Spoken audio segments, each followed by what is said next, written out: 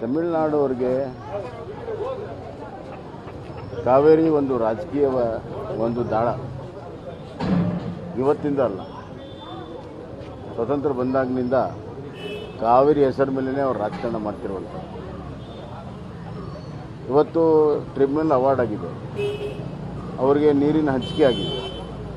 ಆ ನೀರನ್ನು ಕೊಡೋದಕ್ಕೆ ಕಾವೇರಿ ವಾಟರ್ ಮಾನಿಟರಿಂಗ್ ಬೋರ್ಡ್ ಇದೆ. ಆ ನೀರು ಹಂಚಿಕೆ ಆಗ್ತಾ ಇದೆ.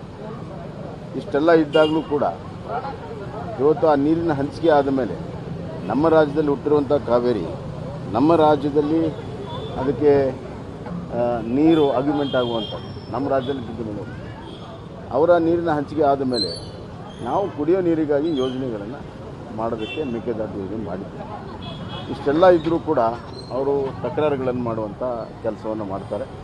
ಮಿಸ್ಲೇನಿಯಸ್ ಅಪ್ಲಿಕೇಶನ್ ಸುಪ್ರೀಂ ಕೋರ್ಟಿಗೆ ಹಾಕಿದ್ದಾರೆ. ನಾವು ಎನ್ ಜಿ ಟಿ ನಮ್ಮ ಪರವಾಗಿ ಆದೇಶ ಕೊಟ್ಟರು ಅದರ ವಿರುದ್ಧ ಸುಪ್ರೀಂ ಕೋರ್ಟಲ್ಲಿ ಹಾಕಿದ್ದಾರೆ.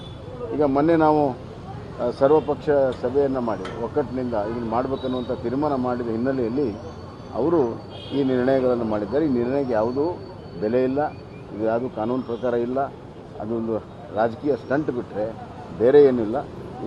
ಈ ಥರ ಹತ್ತು ಹಲವಾರು ನಿರ್ಣಯಗಳಾಗಿದೆ, ಅದಕ್ಕೆ ಯಾವುದೂ ಬೆಲೆ ಇಲ್ಲ. ನಾವು ಏನು ಮೊನ್ನೆ ಸರ್ವಪಕ್ಷದಲ್ಲಿ ನಿರ್ಣಯ ಮಾಡಿದ್ದೇವೆ. ಆ ಪ್ರಕಾರ ಡಿ ಪಿ ಆರನ್ನು ಪಡ್ಕೊಂಡು ಮತ್ತು ಎಂ ಒ ಎಫ್ ಅಲ್ಲಿ ಎನ್ವೈರ್ಮೆಂಟ್ ಕ್ಲಿಯರೆನ್ಸನ್ನು ಪಡ್ಕೊಂಡು ಆ ಯೋಜನೆ ಮಾಡೋದಕ್ಕೆ ಎಲ್ಲ ಕ್ರಮಗಳು ಏನೇನು ಬೇಕೋ ಎಲ್ಲವನ್ನು ನಮ್ಮ ಸರ್ಕಾರ ತೆಗೆದುಕೊಳ್ತೀವಿ